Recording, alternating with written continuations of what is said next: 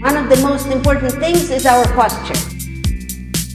Here's our memory chair.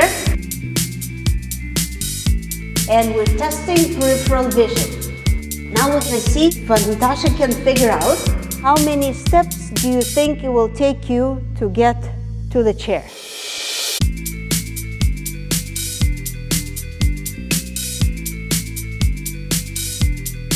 Stretch to recover. Inhale.